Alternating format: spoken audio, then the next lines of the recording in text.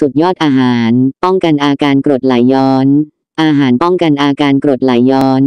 คนส่วนใหญ่ต่างเคยประสบกับอาการแสบร้อนกลางอก หรือกรดไหลย้อน ประกอบด้วยความรู้สึกอึดอัดและแสบร้อนบริเวณใต้ทรวงอก ซึ่งบางครั้งมีสาเหตุจากความเครียดและท่าทางในการนอน อย่างไรก็ตาม บ่อยครั้งอาจมีสาเหตุ เกิดจากอาหารเป็นสิ่งเร้า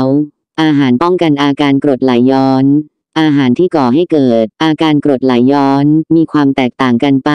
ในแต่ละบุคคล อย่างไรก็ตาม คุณควรเลี่ยงการรับประทานอาหารเหล่านั้น ได้แก่ อาหารที่ฤทธิ์เป็นกรดส้ม มะเขือเทศ หรือเกรปฟรุต คืออาหารที่มีฤทธิ์เป็นกรดสูง ซึ่งควรหลีกเลี่ยง หากคุณมีอาการกรดไหลย้อน อาหารเหล่านี้จะกระตุ้นการเกิดกรดไหลย้อน โดยเฉพาะอย่างยิ่ง หากรับประทานเมื่อท้องว่าง อาหารรสจัด อาหารรสชาติเผ็ดมาก่อให้เกิดอาการแสบร้อนกลางอก ควรหลีกเลี่ยงอาหารที่เต็มไปด้วยพริกไทย พริกขี้หนู และพริกอื่น ๆ หรือรับประทานเพียงเล็กน้อย รวมถึงกระเทียมและหัวหอม ล้วนมีผลต่อการกระตุ้น การเกิดกรดไหลย้อนในบางบุคคล อาหารไขมันสูง อาหารที่มีไขมันสูง และปริมาณมาก เป็นสาเหตุที่ก่อให้เกิดอาการไหลย้อนจากกระเพาะอาหาร อาหารไขมันสูง ใช้เวลานานในการย่อยเช่นเดียวกับอาหารมื้อใหญ่ ยิ่งอาหารอยู่ในกระเพาะนานเท่าใด กรดก็ยิ่งหลั่งออกมามากเท่านั้น ซึ่งอาจก่อให้เกิดภาวะกรดไหลย้อนได้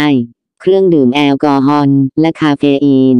อาหารทั้งสองชนิดเป็นสาเหตุของการเกิดกรดไหลย้อน เนื่องจากมีผลต่อการคลายตัวของหูรูดหลอดอาหารทำให้กรดไหลย้อนกลับไปสู่หลอดอาหารได้ ควรเปลี่ยนแปลงอาหารอย่างไรดี 1. มองหาอาหารที่มีความเป็นกรดต่ำ อาหารเหล่านี้ได้แก่ขนมปัง ผักสีเขียวและปลา กรดไหลย้อนมีสาเหตุจาก ปริมาณกรดที่มากเกินไป